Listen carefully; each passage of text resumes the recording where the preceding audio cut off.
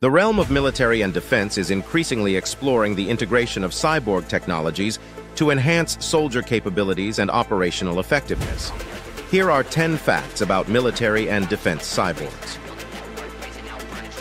Exoskeleton suits. Exoskeleton suits are being developed to provide soldiers with superhuman strength, endurance, and speed. Augmented reality, AR.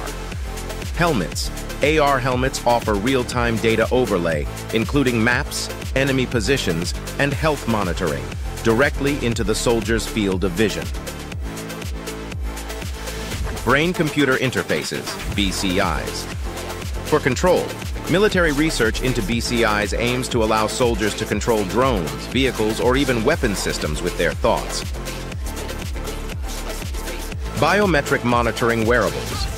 Wearable devices monitor soldiers' vital signs and stress levels, enabling better management of physical and mental health on the battlefield. Tactical augmentation. Tactical augmentation technologies, such as night vision and enhanced hearing devices, are being integrated directly into the body, offering permanent sensory enhancements. Energy harvesting systems. Cyborg technologies include energy harvesting systems that convert body movements or heat into electrical energy to power devices. Neural enhancement for faster reaction. Research is focused on neural enhancements that could speed up reaction times and decision-making processes for soldiers. Regenerative medicine on the field. Advances in regenerative medicine, including portable bioprinters and stem cell treatments, aim to provide immediate care for injuries, speeding up healing processes. Cybernetic implants for communication. Cybernetic implants could enable secure, instant communication among units using subvocalization or direct neural connections.